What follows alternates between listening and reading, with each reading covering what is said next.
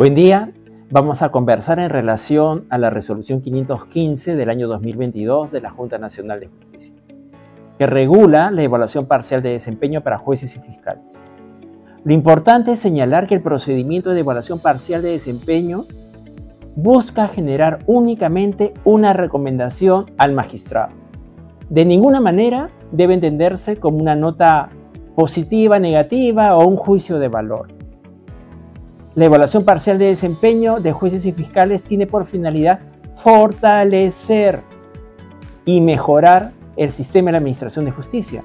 Y para ello promueve que el mismo sea confiable, eficaz, eficiente, transparente, idóneo y libre de corrupción.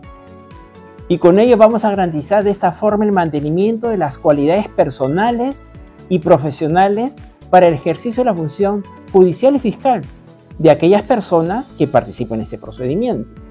Por ende, la evaluación parcial de desempeño indiscutiblemente es de naturaleza formativa, tanto en lo personal y en lo profesional.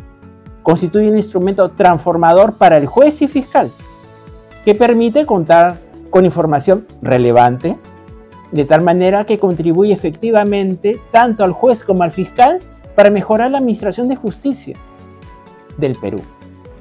Gracias, nos vemos pronto. Un país, un objetivo.